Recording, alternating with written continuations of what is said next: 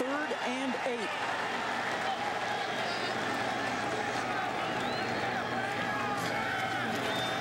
Big rush coming from Indiana. Forcier going in the end zone. He has a man open for the touchdown.